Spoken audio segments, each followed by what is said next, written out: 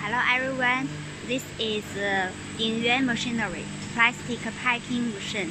Uh, this mesh is used for protect the flower. Also change the mode. The machine can making different kind of mesh for packing.